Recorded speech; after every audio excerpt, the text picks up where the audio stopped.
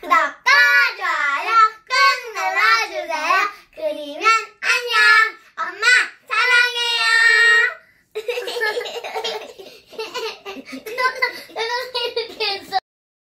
안녕하세요. 권양아 원장입니다.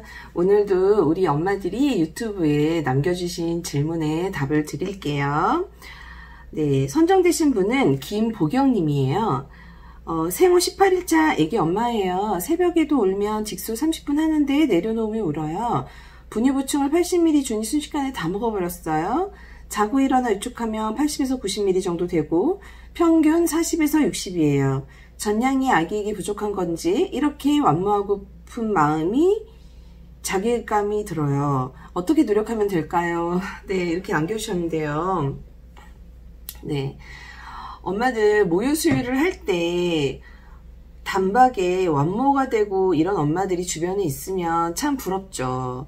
그런데 모유 수유가 체계가 잡히고 어느 정도 원활하게 되는 데까지는 시간이 걸립니다. 그 시간이 약한 저는 대략 한 생후 만 2개월까지라고 생각을 해요. 그러니까 50일, 60일 사이까지는 수많은 변화가 일어나요. 전량이 많았던 것 같기도 하고 또 그 다음날 되면 줄은 것 같고 어느 순간엔 너무 줄은 것 같고 이런 엄마들의 마음을 막 들었다 놨다 하는 일들이 계속 생겨요. 그리고 아기도 미숙한 상태죠. 아기가 젖을 잘 빨 수 있게 되기까지 시간이 걸리는 아기들도 있어요. 그리고 유두만 빨 경우에는 모유가 많이 배출되지 않아요. 그러니까 유륜 쪽이 들어가야 모유가 잘 배출이 되거든요. 그러니까 올바른 젖물리기를 못해서 아이들이 좀 적게 먹는 아이들도 있어요. 지금 엄마 전량은 뭐 한 번 유축할 때 그 정도 나오는 양은 18일차 아기 엄마로서는 굉장히 좋은 모유양이에요. 그리고 우리가 모유양이 애기한테 완벽하게 탁 맞아 떨어지진 않아. 그러니까 왜 그러냐면은요. 어느 순간에 좀 많은 것 같고 남아도는 것 같고 어느 순간에 좀 부족한 것 같고 원래 이렇게 up down이 계속 있으면서 아기랑 맞춰 나가는 거거든요.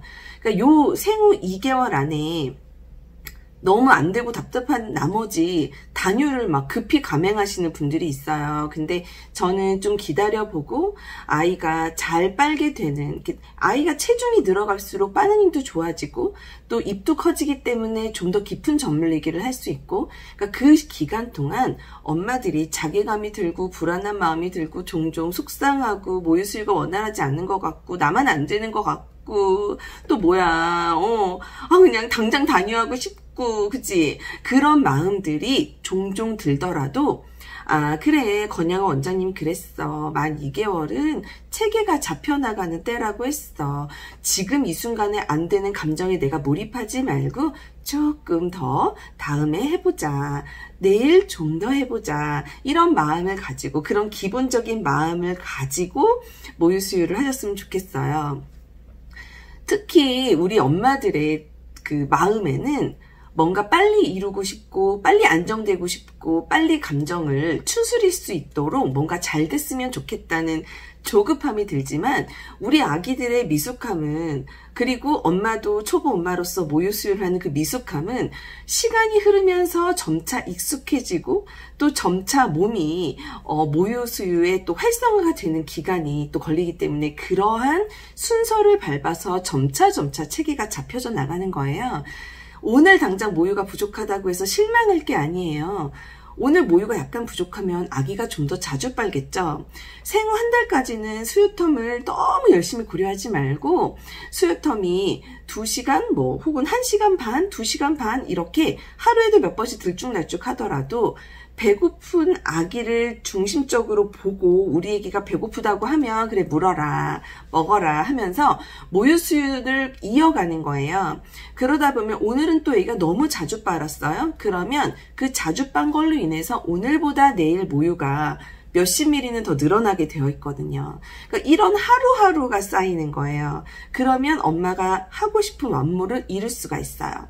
또 유축한 양을 가지고 아, 내 전량이 이거밖에 안 되는구나 대부분 그런 실망을 많이 하시는데 유축은 잔류량이 여기 30% 남아요. 네. 30%가 잔류해요. 완벽하게 나오지 않아요. 그리고 아기가 잘 빠는 아기들은 다 빨아먹지만 또 그렇지 못한 아기들도 있거든요. 그래서 엄마들 자괴감이 들 때마다 어, 그 감정에 너무 집중하지 말고 너무 집중하지 말고 거기에 매몰되지 말고 그래 이렇게 하루하루 좀 더 나아질 거야. 우리 아기도 미숙하지만 성숙해 가고 나도 엄마로서 모유수유 엄마로서 지금은 미숙하지만 점차 성숙해져 갈 거야. 이렇게 생각을 하고 매일매일 나의 할 일을 충실하게 하셨으면 좋겠어요. 나의 할 일을 충실하게 한다는 거는 매 수유턴마다 아기에게 잘 먹여주는 거예요. 자, 아기를 먹이고 나서 내려놨더니 운다, 어, 덜 먹었을 수 있고 트름이 필요했을 수도 있어요. 그래서 아기 체중 대비 엄마의 유축량을 한번 보시고 그러니까 아기가 만약에 현재 3kg인데 엄마의 유축량이 60ml다. 그럼 잔류량을 저는 한 20ml 정도 보거든요. 그러니까 모유 수유를 올바른 전물리기로 제대로 했다면 아기는 아마 완무를 하고 있었을 거예요. 생후 18일 된 아기들은 먹고 나서도 좀 짜증을 낼 수 있고 울 수 있어요. 그러니까 아기가 무조건 내가 제대로 먹이지 못해서 울었다 이렇게만 판단할 건 아니거든요. 그래서 울어도 달래서 달래지면 되고 또 아이가 잠깐이라도 잠들었다가 다시 먹겠다고 하면 먹여주시면 됩니다.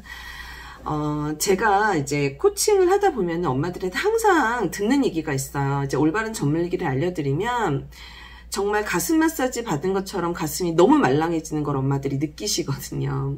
그러니까 가슴 마사지를 받고 나면 어때요? 가슴이 막 너무 소프트해지잖아요. 그것을 아기가 올바른 전물리기를 통해서 먹어서 이루는 거예요. 그러니까 엄마들이 너무 시원하죠. 그리고 엄마들이 고백을 스스로 합니다.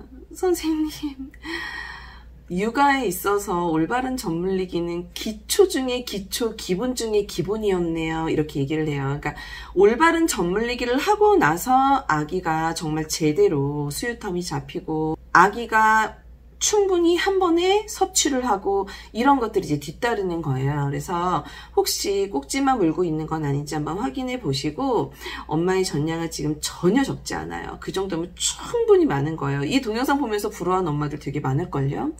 네, 아기가 성장 급등기 기간이에요. 그래서 좀 많이 먹고 많이 보챌 거예요. 소변 횟수가 10번 이상이라면 아기는 너무 잘 먹고 있는 거니까 엄마 자괴감은 떨쳐버리고 네, 어, 한 생후 한 2, 2개월까지는 천천히 아기와 잘 맞춰보시기 바랍니다. 힘내세요. 화이팅! 하나님의 완전한 사랑을 전해드립니다. 감사합니다.